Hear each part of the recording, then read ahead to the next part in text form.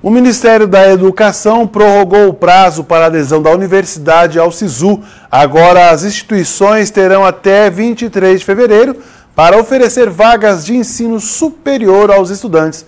Quem tem mais detalhes é a repórter Tati Simon.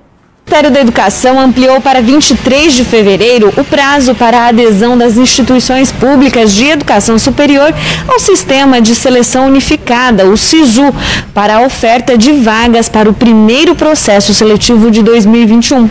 Até então, as inscrições encerrariam no dia 12 deste mês.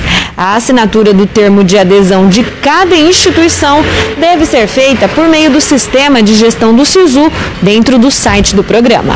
O SISU é o programa do MEC para acesso de estudantes a cursos de graduação em universidades públicas do país.